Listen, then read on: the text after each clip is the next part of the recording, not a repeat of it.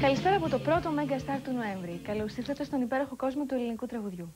Σήμερα ξέρετε ποιον έχουμε καλεσμένο. Σας πω αμέσως. Το Λευτέρη Πανταζή. Βλέπετε πάντα Megastar. Θα το θέσω ως εξής. Πάλι εσύ. Τι θέλεις επιτέλους από μένα; Δεν φτάνουν όσα πέρασα για σένα. Πάλι εσύ. Πάλι εσύ. Καινούριο σου ξέ.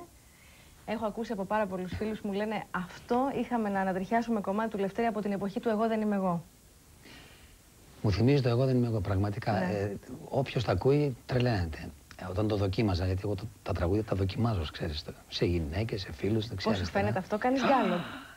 Κάνεις γκάλο. Ε, αφού, αφού εγώ που το, μόνο που το έλεγα πριν το τραγούδι στο στούντιο, το έλεγα, ξέρεις, το έλεγα και τρελαινόντουσαν. Λέω αυτό μόλις βγει στο- σε δίσκο θα γίνει πανικός. Και όπως έγινε. Γιατί μου το κάνεις αυτό, δεν με λυπάσαι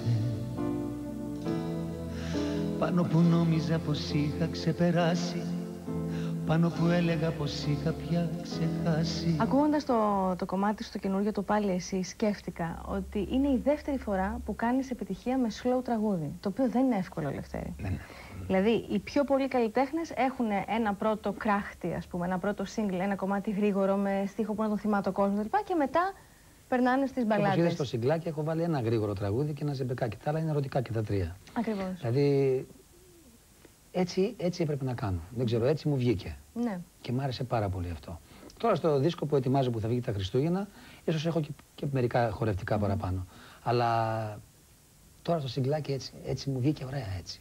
Πάλι εσύ Τι θέλεις επιτέλους από μένα; Δεν φτάνουν όσα πέρασα για σε Πάλι εσύ Τι ομορφιέ ετοιμάζετε στο χάος με την Άντζη και τον Τριαντάφυλλο; Ε, οι ομορφιές ξεκινήσαμε από τη Θεσσαλονίκη. Το ξέρω αυτό.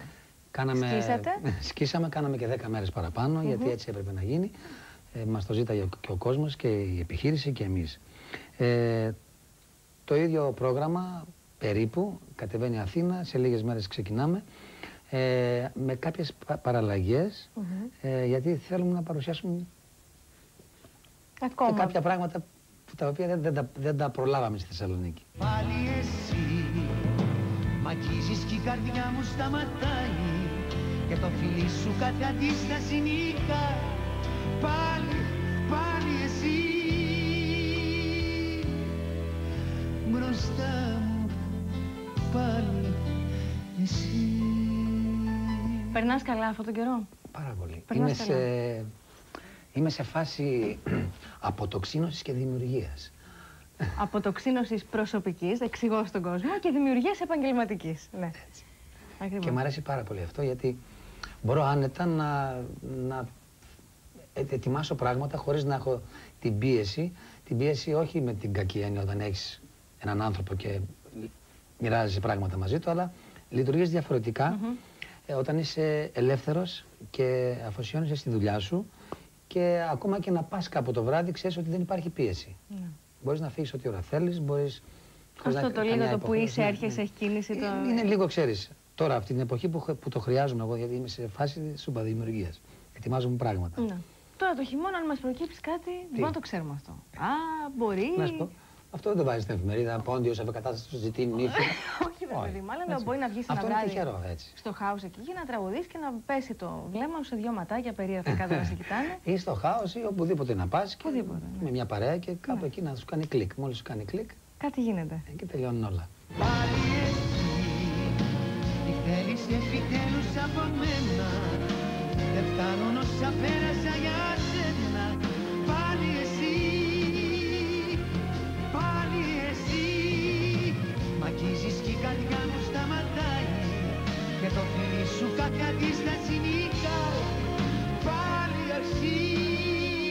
ξέρω αν προτιμάς να είσαι ελεύθερος ή να είσαι δεσμευμένος. Εγώ θα σου ευχηθώ να σε βρει αυτός ο χειμώνας και αυτή η πρωτοχρονιά που τελειώνει και ένας αιώνας αυτή την πρωτοχρονιά. να σε Έρχονται βρει καλά όπως πράγματα θες. νομίζω. Έρχονται καλά πράγματα, είναι η χρονιά του κρύου λένε, ξέρω εγώ. Έτσι λένε. Έτσι λένε, ξέρω εγώ. Και νομίζω ότι μου συμβαίνουν πράγματα πάρα πολύ καλά μέχρι τώρα και. Μμ. Βέβαια την τύχη μας την κάνουμε, τη φτιάχνουμε και μόνοι μας. Αλλά... Κατά ένα μεγάλο ποσοστό, αλλά- συμφωνώ μαζί σου. Αλλά. Δεν βοηθάει να είναι και αυτή έτσι Ναι, λίγο με ναι, το ναι, μέρος ναι, μας. ναι, έτσι. Ακριβώς. Καλή επιτυχία στο δίσκο, Λευτέρη μου. Καλό χειμώνα. Καλά θα είναι όλα.